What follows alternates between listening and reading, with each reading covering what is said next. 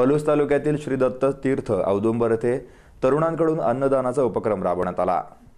पलूस तालुक्यातील श्री दत्त तीर्थक्षेत्र औदुंबर येथे आमणापुरातील सेवाभावी तरुणांकडून अन्नदान करण्यात आले.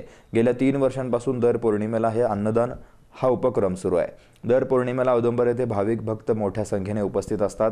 सध्या कन्यागत महापर्व सुरू असल्याने भाविकांच्या भक्तीला उदाहरण आहे येथे येणाऱ्या भक्तांसाठी पलूस तालुक्यातील अमणापूरच्या तरुणांनी एक सेवाभावी उपक्रम हाती घेतलाय. दर पौर्णिमेला ज्ञानेश पाटील प्रशांत कदम कृष्णाथ पाटील पवन कदम शिवराज पवार पवन नलवडे सुमित कोळी शैलेश भोसले अभिजित लोहार हे शिवाजी आखाडा मंडळाचे तरुण एकत्र जमून सामूहिक वर्गणीतून अन्नदान करतात. गेल्या तीन वर्षांपासून दर पौर्णिमेला हा उपक्रम अविरतपणे सुरू आहे. सांगली जिल्ह्यातील तीर्थक्षेत्रांपैकी श्री क्षेत्र औदुंबर हे एक दत्तात्रयांचे जागृत देवस्थान आहे.